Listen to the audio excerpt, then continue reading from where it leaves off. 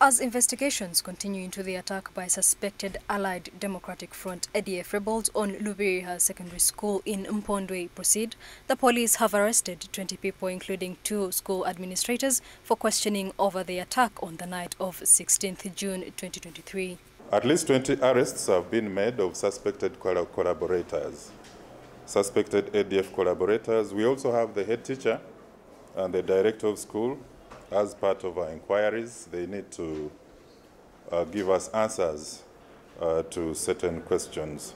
Enanga said of the 42 people who were killed in the attack, 37 were students, the school watchman, two others, and a 96-year-old peasant who was killed at the nearby village as the attackers fled the scene. Enanga added that of the 25 charred bodies that were examined at Bwera Hospital, 23 were handed over to their immediate family members, while the other two bodies have not yet been picked. On the 18th of uh, June, our medical and forensic teams also examined the 17 bodies from the mortuary in Fort Portal.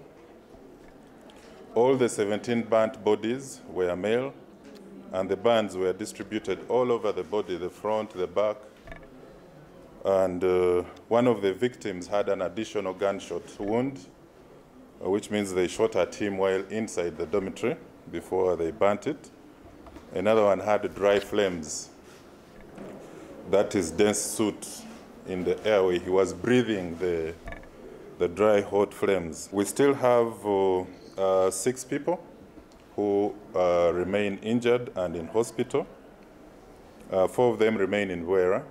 One was transferred in critical condition to Kiruddu, and an additional one was transferred to uh, Mulago National Referral Hospital. He reassured the public of the determination of security agencies to prevent terror attacks as the UPDF and other security teams put efforts in tracking the ADF rebels. Attack on innocent children is barbaric, is inhuman, and of course constitute, constitute crimes against uh, humanity.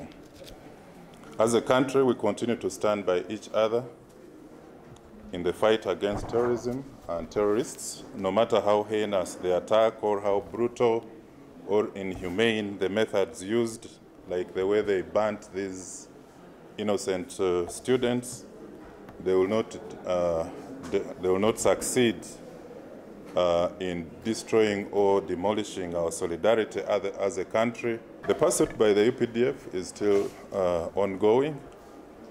At a later stage, we believe they will uh, brief the country on uh, the counter operation.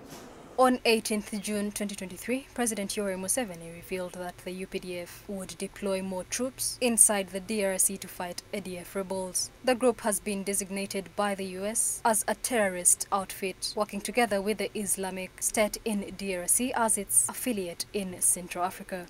Mary Prima Awor, Church of Uganda Family TV, News at 8.